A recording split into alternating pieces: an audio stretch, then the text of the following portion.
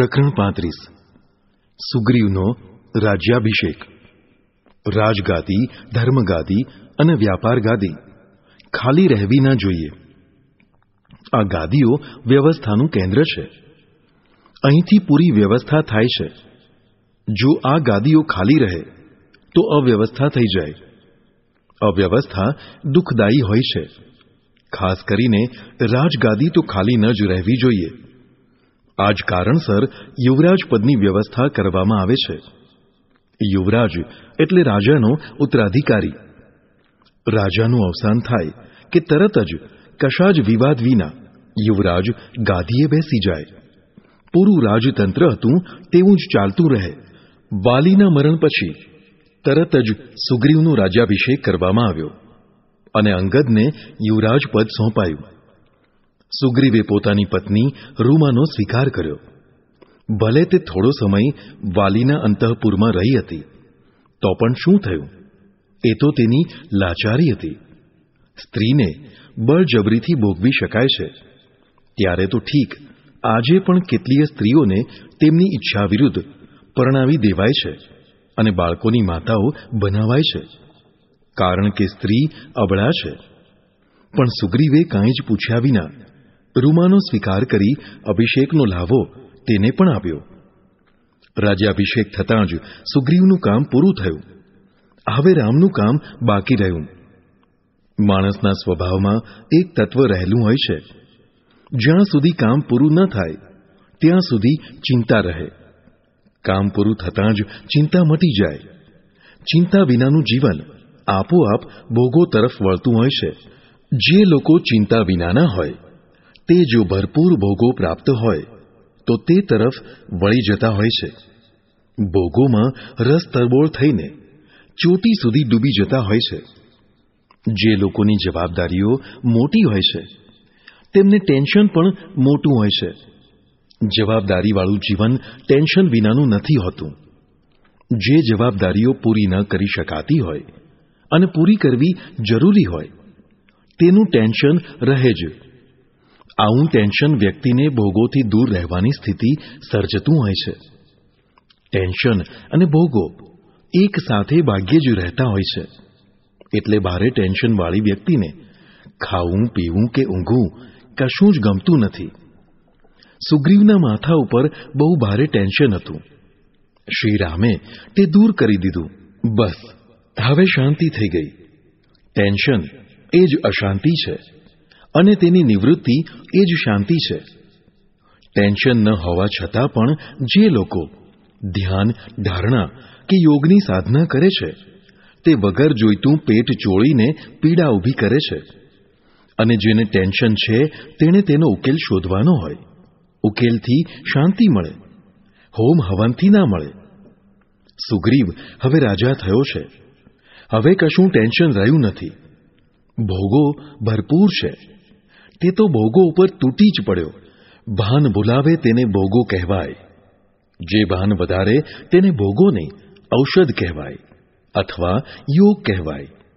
ભોગ પણ યોગ થઈ શકે છે. જો ભાન વધારનારા હોય તો. રોગો વધારે તે ભોગો અસંયમ કહેવાય. કુપથ્ય કહેવાય.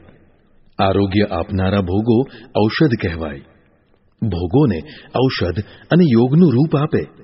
તેને ઋષિ કહેવાય. સુગ્રીવ ભાન ભૂલ્યો છે, કારણ કે ભોગમાં ગળા ડૂબ ડૂબી ગયો છે. રામ લક્ષ્મણની ઉપેક્ષા થઈ છે. પોતાનું કામ તો થઈ ગયું. પણ હજી શ્રી રામનું કામ તો બાકી છે. પણ કોને પડી છે? ઋષિમુખ પર્વત ઉપરથી રામ લક્ષ્મણ પ્રસવણગીરી ઉપર નિવાસ કરવા લાગ્યા. ત્યાંથી માલ્યવાન પર્વત ઉપર વર્ષા ઋતુ ગાળવા ગયા. વાલ્મીકી ઋષિએ અહીં મન મૂકીને વર્ષા ઋતુનું વર્ણન કર્યું છે. એક જ નમૂનો બસ છે, લક્ષ્મણ.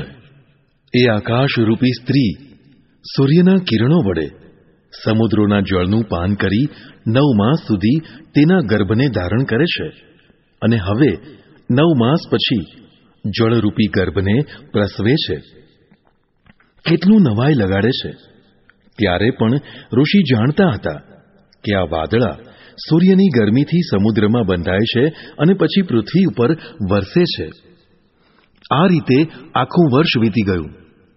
પણ સુગ્રીવને યાદ ન આવ્યું કે રામનું કામ હવે તો કરવું જોઈએ. એકવાર શ્રીરામે હનુમાનને થોડી ચેતવણી પણ આપી. સુગ્રીવ થોડું જાગ્યો પણ ખરો, પણ પાછો હતો એવો ને એવો. વર્ષા ઋતુ પૂરી થઈ. હવે શરદ ઋતુ આવી. છેવટે લક્ષ્મણની ધીરજ ખૂટી. એકવાર લક્ષ્મણ કિષ્કિંધા ગયો. સુગ્રીવને ખખડાવી નાખ્યો. લક્ષ્મણનો પ્રકોપ જોઈને સુગ્રીવ ધ્રુજી ઉઠ્યો. જીવનમાં કોઈ વાર ક્રોધ પણ જરૂરી તત્વ થઈ જતું હોય છે. સતત ઉપેક્ષા કરનાર નાદાન માણસોને ઠેકાણે લાવવા ફૂંફાડો જરૂરી છે. હનુમાનજીએ સુગ્રીવને ફરી સમજાવ્યો. લક્ષ્મણના ક્રોધથી વાત બગડતી જોઈને તારા દોડી આવી. સ્ત્રીઓ ઝઘડા કરાવનારી તથા વધારનારી હોય છે. પણ કોઈ કોઈ ડાહી સ્ત્રી ઝઘડો ઠંડો પાડનારી પણ હોય છે. તારા આમાની છે. તેણે હવે સુગ્રીવને પતિ તરીકે સ્વીકારી લીધો છે. સંસ્કૃતિ અને તેના મૂલ્યો કોમવાર અને પ્રદેશવાર જુદા જુદા હોય છે. વાનર જ્ઞાતિમાં દિયરવટું કરવાનો રિવાજ હશે. તેથી વાલીના મરણ પછી વાલી પાછળ પ્રાણ આપવા તૈયાર થયેલી તારા કાળાંતરે સુગ્રીવની પ્રિય રાણી થઈ ગઈ. સમયની સાથે માણસ અને માણસના વિચારો પણ બદલાય છે. તેમાં પણ વાસનાના ક્ષેત્રમાં સ્ત્રી જલ્દી બદલાઈ જતી હોય છે. એટલે તો કેટલાક લોકો તેનો ભરોસો ન કરવાની શીખ આપતા હોય છે. તારાએ આવીને સુગ્રીવવતી લક્ષ્મણની ક્ષમા માગી. ક્ષમા ગંગાજળ છે. ગમે તેવા ક્રોધ ઉપર સમયસર છાંટવામાં આવે, તો ક્રોધાગ્નિ શાંત થઈ શકે છે. લક્ષ્મણનો ક્રોધ શાંત થયો. પછી બંનેએ મળીને સુગ્રીવને સમજાવ્યો. સમજાવવાની કળા પુરુષો કરતાં સ્ત્રીઓમાં વધારે હોય છે. એટલે ડાયા ન કરો. સીધા જ શેઠની પાસે માગણી કરવા કરતા પ્રથમ શેઠાણીને રીઝવી, તેની આગળ માગણી મૂકે છે. પછી શેઠની તાકાત નથી કે તે શેઠાણીની વાતનો અસ્વીકાર કરી શકે. સુગ્રીવે તત્કાળ સૈન્ય એકઠું કરવાનો હુકમ કર્યો. હુકમ કરનારનું પદ અને મહત્વ સર્વોચ્ચ હોય છે, કારણ કે પરિણામ તેને ભોગવવાના હોય છે. જોત જોતામાં સૈન્ય ભેગું થઈ ગયું. સુગ્રીવ સામે ચાલીને શ્રીરામ પાસે ગયો. ક્ષમા માગી. વિશાળ સૈન્ય બતાવી કહ્યું કે હવે આજે ને આજે આ સેના સીતાજીની શોધ કરવા નીકળી પડે છે. તેણે સેનાના ચાર વિભાગ કર્યા અને ચારેને એક એક દિશા તરફ મોકલી દીધા. દક્ષિણ દિશા તરફ હનુમાનના નેતૃત્વમાં સેના મોકલી. હનુમાનજી રામજીને પગે લાગવા આવ્યા. ત્યારે રામજીએ તેમના હાથમાં પોતાની નિશાની તરીકે મુદ્રિકા આપી. મુદ્રિકા જોઈને સીતાજીને વિશ્વાસ થાય કે આ વાનર મારા પતિનો દૂત છે. ચારે સેનાઓ વિદાય થઈ ગઈ. પણ થોડા જ દિવસોમાં નિરાશ થઈને ત્રણ દિશાની સેના પાછી આવી. ક્યાંય સીતાજીનો પત્તો નથી. સૌ નિરાશ હતા. કાર્યની નિષ્ફળતા નિરાશા જન્માવે છે. નિરાશાથી હતાશા આવે છે. હતાશાથી ડિપ્રેશન થાય છે. ડિપ્રેશન વ્યક્તિને મારી નાખે છે. હજી દક્ષિણની સેના પાછી આવી નથી. દક્ષિણ દેશમાં રાક્ષસોનો વાસો વધારે છે. અંગદ બધાને પ્રોત્સાહન આપીને આગળ ને આગળ સેનાને ધપાવી રહ્યો છે. સેનાપતિની હિંમત અને દ્રઢતાથી સેના દ્રઢ થતી હોય છે. અંગદ અને હનુમાનના નેતૃત્વવાળું કપીદળ દક્ષિણ દિશા તરફ આગળ વધવા લાગ્યું. આગળ એક વિશાળ બિલ, એટલે કે દર આવ્યું. બધાએ તેમાં પ્રવેશ કર્યો. કદાચ સીતાજી આમાં હોય. એવી સંભાવના હતી. આગળ જતાં ગાઢ અંધકાર થઈ ગયો. હવે ક્યાં જવું?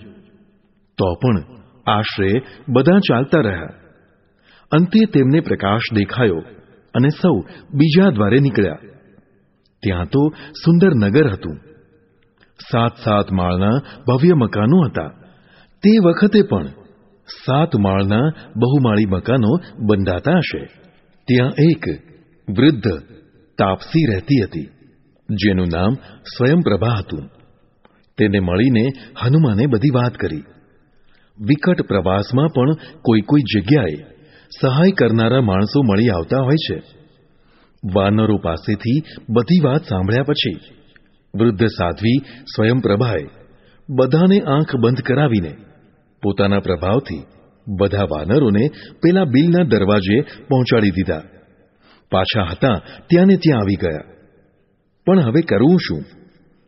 સુગ્રીવે આપેલી મુદત પૂરી થઈ રહી હતી.